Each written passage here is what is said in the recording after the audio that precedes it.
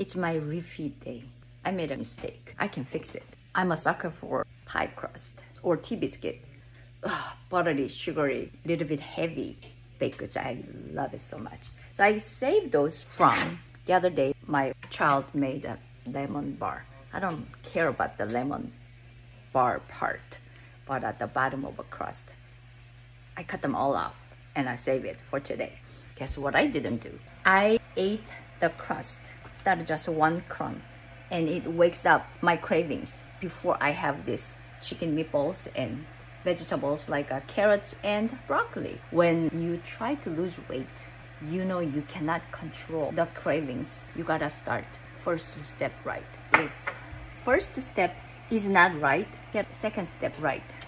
My mouth is watery because I want this. So I'm gonna fix this cravings before I go crazy with uh, other stuff. I'm gonna eat chicken meatballs. Mmm. Hmm. By the way, it turned out to be really good. Carrots. Hmm. Okay. You know a craving is gonna catch you off guard. You know what to do. Eat your vegetables. Eat your protein. Then have that. Your body can control the cravings a little better. Don't make the same mistake I did. I'm already better. Can you believe that? Now I'm gonna enjoy it. I'm observing this sensation. Before I had vegetables and uh, my protein, the first bite was this, the sugary body comes in. My body's shocked that I want more, eat more. I want it, I want it now.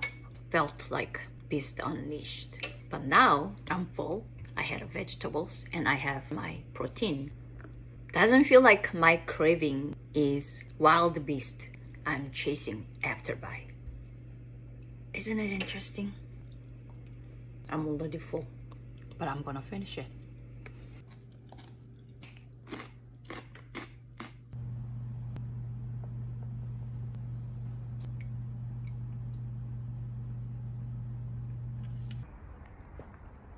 Did most times work. Cheers.